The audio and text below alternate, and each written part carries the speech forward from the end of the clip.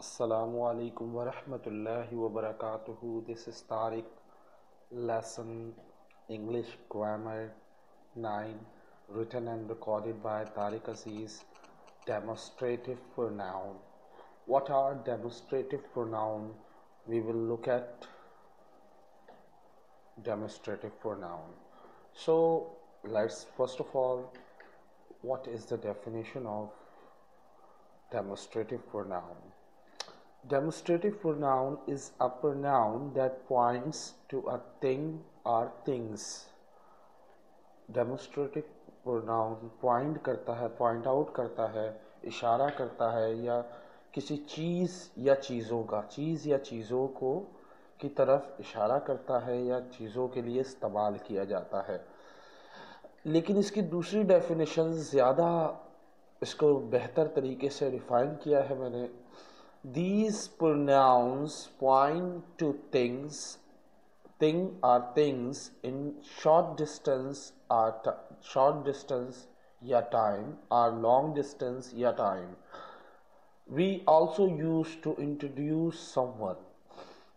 देखिए demonstrative pronoun किसी चीज़ की बात करता है किसी ऑब्जेक्ट को किसी भी ऑब्जेक्ट के लिए बात करता है फॉर एग्ज़ाम्पल किसी भी ऐसी चीज़ को पॉइंट आउट करता है जो मलकियत की हो या ना हो, जिसमें मलकियत का कोई ताल्लुक़ नहीं होता, लेकिन उस चीज़ के, उस चीज़ को वो करीब हो या दूर हो, उसके लिए इस्तेमाल होता है।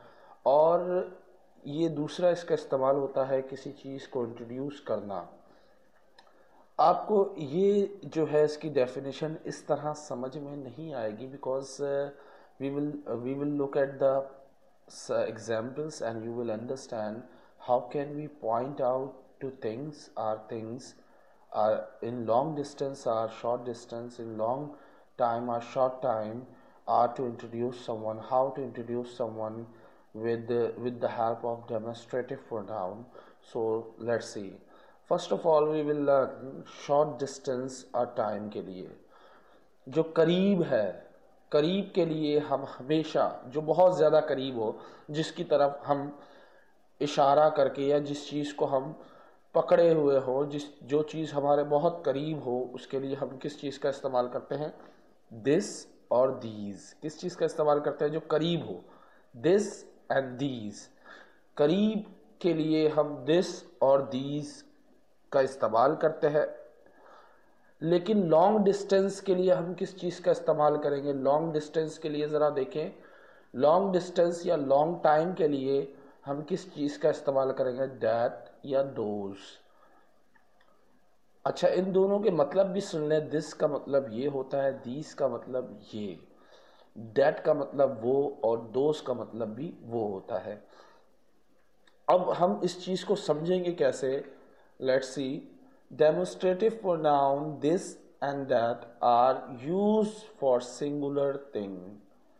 This और that जो है वो एक चीज़ के लिए इस्तेमाल होता है, यानी सिंगुलर यानी एक होनी चाहिए, जिसमें वाहिद शख्सियत हो। कोई भी एक चीज़ हो उसके लिए या तो दिस इस्तेमाल होगा या डैट इस्तेमाल होगा।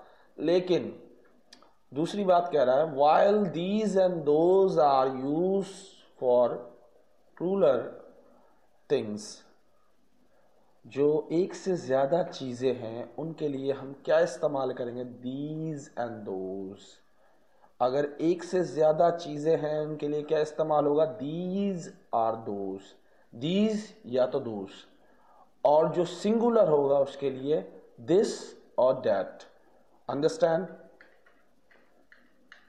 अब इसकी एग्ज़ाम्पल देखते हैं. This is black this is black ये काला है. This is black for example मेरे सा, मेरे सामने मेरे पास एक मोबाइल है. वो मेरे सामने पड़ा हुआ है.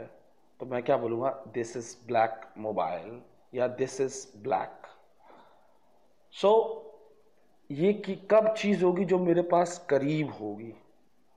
दोबारा से बता दूँ, जो चीज़ करीब होती है, उसके लिए दिस और दीज का इस्तेमाल करते हैं। जो दो दूर होती है, उसके लिए डैट और दोष का इस्तेमाल किया जाता है। दूसरा जुमला देखें that is heavy that is heavy ये वज, वो वजनी है। वो का लफ्ज़ हम कब इस्तेमाल करते हैं, जो हमारी रेंज से थोड़ा दूर हो। हमारी रेंज में आता हो, हमारे करीब ना हो, थोड़ा दूर हो। It should be far from us when we use that okay so this is black ये काला है, यानी कोई करीब चीज़ है, और कोई चीज़ दूर है तो दैट इज़ हैवी वो वजनी है। अब किसी ने पूछा, यार, वो बैग उठा लो, दूर पड़ा है बैग, यार, बैग उठा के ले आओ। So that is heavy how can I pick मैं किस तरह उठाऊं वो बैग तो भारी है। सो so, आपको ये बात अंडरस्टैंड करनी है कि दिस का इस्तेमाल हम देखिए दोनों में एक चीज़ कॉमन है वो है ब्लैक एक है हैवी वजनी है लेकिन हम इसको किसके लिए इस्तेमाल कर रहे हैं? एक से ज़्यादा के लिए है एक के एक से ज़्यादा के लिए हम इस्तेमाल अगर करते हैं तो दीज और दोस का इस्तेमाल करते हैं। लेकिन sorry this bag is mine this bag is mine ये बैग मेरा है। तो अगर बैग मेरे पास करीब पड़ा है या रखा हुआ है तो मैं क्या बोलूँगा? This bag is mine don't touch it this bag is mine क्योंकि मेरे बिल्कुल करीब पड़ा है, कोई चोर आ रहा है और उठाने की कोशिश कर रहा है। Stop this bag is mine सही है अंडरस्टैंड नेक्स्ट देखें। ये डैट किसके लिए इस्तेमाल? दूर के लिए। लेकिन सिंगुलर के लिए। किसके लिए? दूर, लेकिन सिंगुलर के लिए। That aeroplane is very heavy that aeroplane aeroplane क्या है? सिंगुलर है। एक है। दूसरी बात, ये करीब नहीं है, बल्कि दूर है। That aeroplane is very heavy that airplane is very heavy वो जो जहाज़ है, वो बहुत वजनी है। सही है? इसी तरह दैट बाइक इज़ ब्यूटिफुल वो बाइक खूबसूरत है। वो किसी की भी बाइक हो इट्स नॉट अ मैटर कि आपका दैट दिस दोज का इस्तेमाल कैसे हो रहा है, ये देखें। डैट का लफ्ज़ के साथ हमने बाइक्स नहीं लगाया, बल्कि बाइक लगाया है। लेकिन ये बाइक जो है, वो करीब नहीं है, दूर है। It's far okay that bike is very beautiful look that bike is very beautiful look at look look man that bike is very beautiful that bike is beautiful देखो यार, वो खूबसूरत बाइक है। तो इसमें क्या है? सिंगुलर है, लेकिन दूर है। लेकिन अगर मैं यही बोलता this bike is beautiful this bike is beautiful अगर मैं ये बोलता for example what is the meaning of this bike is beautiful कि ये जो चीज़, ये जो बाइक है, ये मेरे करीब है, पहली चीज़, और ये एक है। और यहाँ भी एक है, लेकिन दूर है। अंडरस्टैंड होप यू अंडरस्टैंड अगर नहीं समझ में आया तो आप बोले, मैं दोबारा से रिकॉर्ड करके इसको पिक्चर्स के साथ आपको रिकॉर्ड कर दूँगा। अगर आपको नहीं समझ में आ रहा, लेकिन पूरा लेसन सुने ताकि इसको थोड़ा माइंड में बैठेगा। दोज आर माई शूज़ देखिए, हमने दोज क्यों लगाया? किसको देख के दोज लगाया है? एक से ज़्यादा, ये basically point out a subject ये सब्जेक्ट को पॉइंट आउट करता है। दिस हो दोज हो, ये चीज़ें सब्जेक्ट को पढ़ना। ऑब्जेक्ट को ऑब्जेक्ट को पॉइंट आउट करती है। दोज आर माई शूज़ वो मेरे जूते हैं। दोज आर माई शूज़ पहली चीज़, जूते एक से ज़्यादा है। यानी जूते जो होते हैं, वो एक नहीं होता, दो होते हैं। यानी उनकी जोड़ी होती है, पहली बात। एक से एक से ज़्यादा थे। हमने एक से ज़्यादा के लिए या तो दोष लगाना था या दीज लगाना था। लेकिन दोस्त कब लगाते हैं जब जूते थोड़े दूर हों? अब वो मेरे पास it is not near it's far from me shoes are far from me जूते मेरे से दूर हैं। सो आई यूज़ दोस मैंने दोस्त का इस्तेमाल किस लिए किया? क्योंकि जूते दूर हैं। जूते दूर हैं।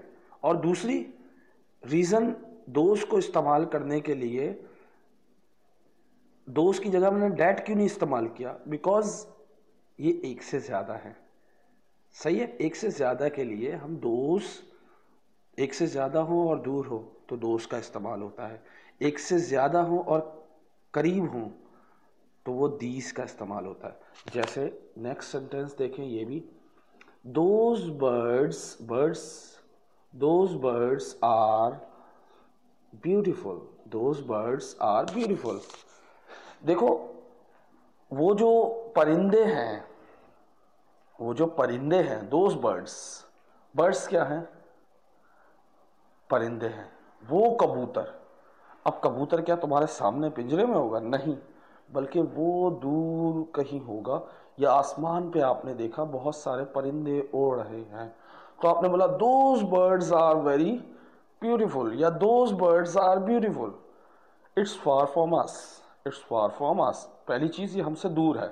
So we use we use those and the second second thing there is not a singular these are plural यानी not bird birds those birds एक से ज़्यादा है। तो हमने दोस्त का लफ्ज़ इस्तेमाल कर दिया। और दोज बर्ड्स आर ब्यूटीफुल वो परिंदे। एक तो दूर है और एक से ज़्यादा है। तो हमने दोस्त का लफ्ज़ लगाया। दोस्त बर्ड्स आर ब्यूटीफुल नेक्स्ट देखते हैं। Can you see the these अब देखें दीज का लफ्ज़ हम कब इस्तेमाल करते हैं? जब करीब हो, लेकिन एक से ज़्यादा हो। करीब हो, एक से ज़्यादा हो। कैन यू सी दीज क्या तुमने ये देखी? यानी एक से ज़्यादा चीज़ें, ये चीज़ें देखी? ओ क्या तुमने ये चीज़ें देखी?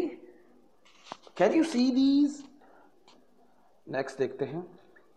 डू यू लाइक दिस अब देखें, एक तो जो चीज़ सामने है आपके जो करीब है, उसको पूछा जा रहा है, कोई चीज़ आपके करीब पड़ी है, और वो चीज़ एक है, एक से ज़्यादा नहीं है। एक तो करीब है और एक चीज़ है। तो आपने पूछा सामने वाले से, सामने वाले के पास वो चीज़ है do you like this do you like this क्या तुम्हें ये पसंद है? क्या तुम्हें ये पसंद है? Do you like this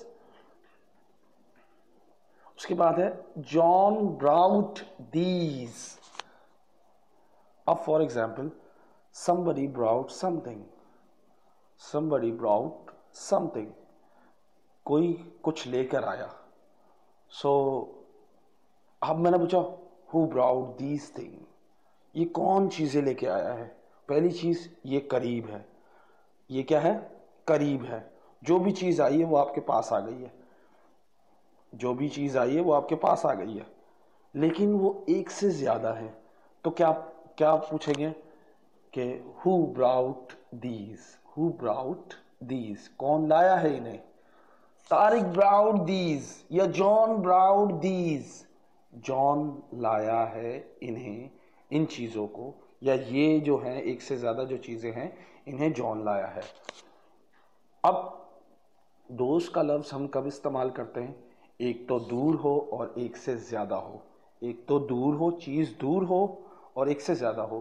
Those look attractive those look attractive वो बड़े ही अट्रैक्टिव लग रहे हैं। वो बड़े ही अट्रैक्टिव लग रहे हैं। For example the heroine the heroine looks attractive so hero and heroine looks attractive for example hero and heroine are looking attractive तो आप क्या, आप दूर खड़े हो। You are far from them so you can say those look attractive या क्योंकि दोस्त का इस्तेमाल चीज़ों के लिए आता है, इंसानों के लिए नहीं आता तो हम इसको ऐसे कर लेते हैं कि एक से ज़्यादा फूल है। दूर एक से ज़्यादा फूल है। और वो बड़े खूबसूरत लग रहे हैं, बड़े ही ज़बरदस्त लग रहे हैं। तो आप कह सकते हैं दोज लुक अट्रैक्टिव आपने पॉइंट आउट किया, इशारा किया। लेकिन वो आपके करीब नहीं है, दूर है। पॉइंट आउट किया, इशारा किया। Those look attractive those flowers look attractive, या those look अट्रैक्टिव वो बड़े ही अट्रैक्टिव दिख रहे हैं। उसके बाद दिस का लफ्ज़ दोबारा से आ रहा है। दिस हम कब इस्तेमाल करते हैं? दोबारा से रिमाइंड करते हैं, जो करीब हो और एक हो। जो करीब हो, एक हो, उसके लिए दिस का इस्तेमाल करते हैं। हैव यू ट्राइड दिस क्या तुमने ये ये कोशिश की? हैव यू ट्राइड दिस क्या तुमने ये कोशिश की? हैव यू ट्राइड दिस क्या तुमने ये कोशिश की? लेट्स हमने एक चीज़ सीखी कि दिस और दोस्त का इस्तेमाल हम कहाँ करते हैं। दिस का इस्तेमाल हम नियर यानी करीब हो, और एक हो, जब हम इस्तेमाल करते हैं। दीस का इस्तेमाल एक से ज़्यादा हो, लेकिन करीब हो। एक से ज़्यादा हो, लेकिन करीब हो, जब हम दीस का इस्तेमाल करते हैं। और डैट का इस्तेमाल दूर हो, लेकिन एक हो। T H A T that का इस्तेमाल हम जब करते हैं, जब दूर हो और एक हो। लेकिन दोस्त का इस्तेमाल हम कब करते हैं? जब दूर हो, लेकिन एक से ज़्यादा हो। अंडरस्टैंड और इनके बाद दो चीज़ें आती हैं। क्या क्या या तो वर्ब आता है, या तो नाउन आता है। या तो वर्ब आता है या तो नाउन आता है। So hope you understand this next we use for introduction domestic pronoun we use domestic pronoun for introduction how can we use for introduction for example I am sitting here my two my two partners are sitting here on the table and I want to introduce with each other मुझे उन दोनों को एक दूसरे से introduce कराना है, मिलाना है। तो मैं क्या बोलूँगा? Saima this is Asim. Saima, ये आसिम है इनसे मिले। Asim this is Saima. Asim, आप इनसे मिले या साइमा है। So we can use also for introduction Saima this is this is Asim. Asim this is Saima. But ये बोलने वाला वो दोनों नहीं होते, बल्कि थर्ड पर्सन होता है। कौन होता है? थर्ड पर्सन थर्ड पर्सन से this line two to get together two person to introduce two person uh, the third person say uh, Saima this is Asim Asim this is Saima. So we use for introduction. And second thing whenever whenever you uh, whenever you call any uh, whenever whenever you call anyone so uh, if you call me suppose if you call me hello hello this is Tariq how may I help you? Hello this is Tariq how may I help you मैं तारिक हूँ। मैं आपकी क्या खिदमत कर सकता हूँ? ये टेलीफोन के लिए इस्तेमाल होता है। दिस इज़ तारिक और ये बहुत ही ज़्यादा इनफॉर्मल है। और जब हम कहीं, जैसे मैं स्टेज पर जाता था तो प्रेजेंटेशन के लिए तो मैं या कहीं ऑफ़िस की मीटिंग में जाता हूँ तो मैं एट द टाइम क्या यूज़ करता हूँ? हेलो दिस इज़ तारिक जब स्टेज पर जाता हूँ सबसे इंट्रोड्यूस करने के लिए हेलो दिस इज़ तारिक मैं ये नहीं कहता आई एम तारिक मैं ये कहता हूँ दिस इज़ तारिक यानी मैं तारिक हूँ। तो उसका मतलब यहाँ पे दिस इज़ तारिक का मतलब ये तारिक है, ये भी है और मैं तारिक हूँ, ये भी हो सकता है। अच्छा अब ये सबसे अहम तरीका है टाइम के लिए कैसे इस्तेमाल होता है। टाइम में बड़ा बड़ा बड़ा ही ज़्यादा पंगा है। लेट्स सी क्या पंगा है। ये देखें ज़रा। ये इस लाइन को ज़रा पढ़ते हैं हम। If an action is in present or near to future we use this and these अगर एक्शन जो है, जो जुमला जो है, या जुमले की जो जो तब्दीली है, जो उसमें एक्शन हो रहा है, वो अगर प्रेजेंट है और फ्यूचर में जाने वाला है प्रेजेंट में हो रहा हो प्रेजेंट में हो या फ्यूचर में हो we use this and these we use this and these जब भी कोई ऐसा जुमला जो प्रेजेंट में हो, यानी वो चीज़ अभी हो, हुई हो हुई है, या हो रही हो, या होने वाली हो तो उसके लिए हम दिस और दीस का इस्तेमाल करते हैं। लेकिन if an action in is in is in past then we use that and those अगर हरकत माजी में हुई हो, कोई काम माजी में हुआ हो तो उसके लिए हम डैट और दोस्त का इस्तेमाल करते हैं। उस वक्त ये नहीं देखा जाता कि एक से ज़्यादा है या दूर है या करीब है। लेट्स सी हाउ कैसे। एक जुमला है this biryani is delicious this biryani is delicious during the meal मैं खाना खाते हुए ये कह रहा हूँ ओ यार for example you are with me and I am taking I'm taking uh, uh, I'm taking dinner with you.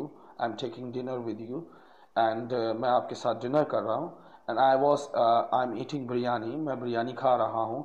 So while while taking biryani I said this मैंने बिरयानी खाते हुए कहा during during the dinner I said oh this biryani is delicious ये बिरयानी बड़ी ज़बरदस्त है यार, बड़ी बड़ी चस्, बड़ी ज़बरदस्त है। तो हम क्या इस्तेमाल कर रहे हैं दिस बिरयानी लेकिन यही चीज़ अगर माजी में हुई हो फॉर एग्ज़ाम्पल यही जुमले को अगर फॉर एग्ज़ाम्पल कल गुजर गया है, कल मैंने बिरयानी खाई थी, सही है? अगर मैं इस्तेमाल करना चाह रहा हूँ कि कल की बिरयानी बहुत ज़बरदस्त थी तो मैं दिस का इस्तेमाल नहीं करूँगा, बल्कि डैट का इस्तेमाल करूँगा। यार, वो जो बिरयानी थी बहुत अच्छी थी, जो कल रात खाई थी। कल रात वाली बिरयानी बहुत अच्छी थी। That biryani was delicious last night ये पास्ट है। इसलिए हमने डैट लगाया, दिस नहीं लगाया। अगर हम इसको बोलते, ये this biryani was delicious last night कि ये बिरयानी बहुत अच्छी थी कल वाली तो ये एक उर्दू ही सही नहीं बन रही, इसकी इंग्लिश क्या सही बनेगी?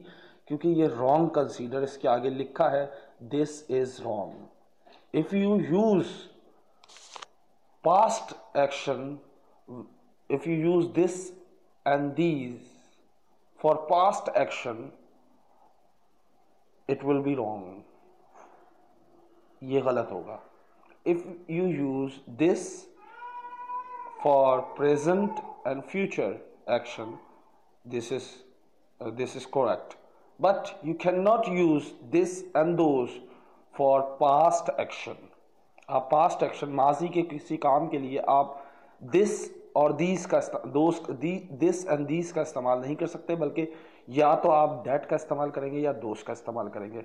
सही है, एक से ज़्यादा होगा तो दोस्त का, और एक से एक होगा तो डैट का इस्तेमाल होगा, लेकिन माजी के लिए।